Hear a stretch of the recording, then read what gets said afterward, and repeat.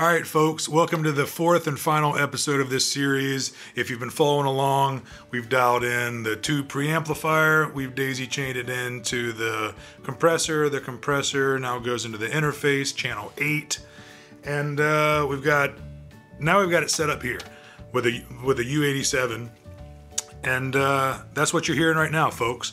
So I've I've set the gain input for this microphone uh, I've still just kept the impedance right up and down. I've messed with this a little left, a little right, and it's uh, right up the middle seems to be a sweet spot of this U87 where it's still open and airy, but uh, doesn't close it off too much. Um, I've got the low cut at 70 hertz. This this guitar is a dreadnought. It's kind of a Canon. Uh, the tilt EQ just a little bit more on the more high end side. Try to give some of this, uh, since it's a, a big body um, Breedlove's Concerto model.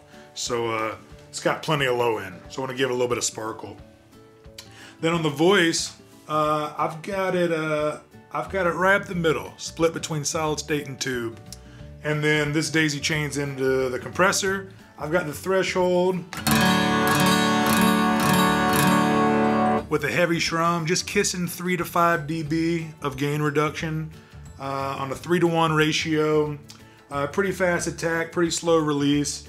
And on the blend knob here, which is one of my favorite settings here, it's like your parallel compression. All the way to the right is the full compression signal. Then you can back it off a little bit just to let some of the dry signal through um, to really have that kind of natural, natural sound to it.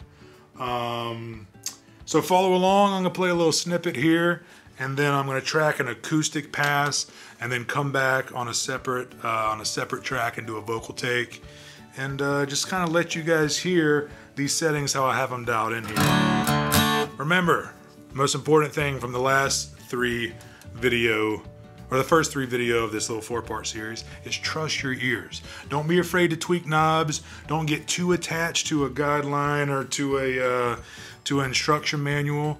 Outboard gear is meant to be tweaked. Tweak it. If it sounds good, roll with it. If it doesn't, keep tweaking. Find your settings, find your signal chain, and just have fun with it, folks. Um, all right, let's do a little pass here.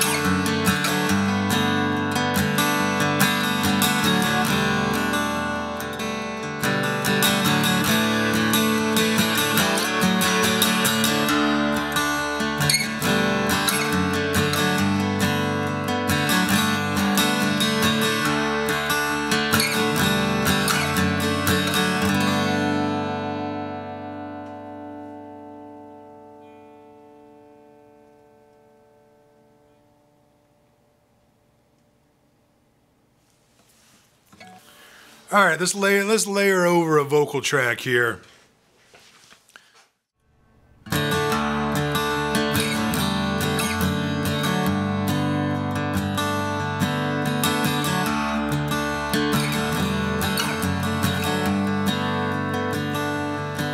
I never thought something the size of a poppy seed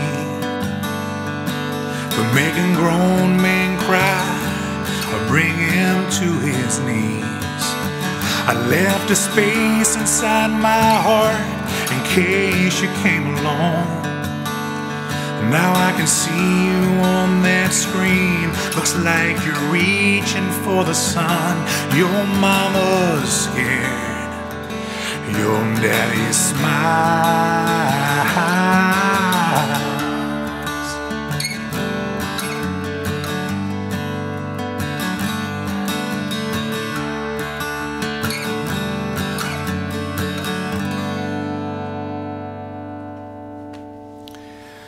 Thank you all so much for tuning in to this four part series, folks. Again, this is the Solo MPA and the Solo VLA, the microphone tube amplifier and partner in crime uh, compressor. We have them daisy chained together.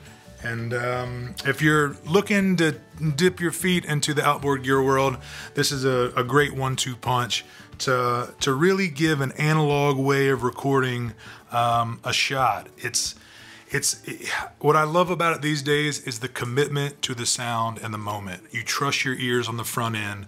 You get a signal chain, you get a sound that you like, and you commit to it. You can always tweak stuff on the back end more. You can do a little lighter settings here on the front end, just stuff to catch the peaks and kind of treat the sound on the way in. Do a little bit more treatment on the end, or get it dialed in exactly like you like it commit to it, and that's the take. And then it's more about the performance. I'll see you guys down the road, and uh, thank you all for listening. Cheers, folks.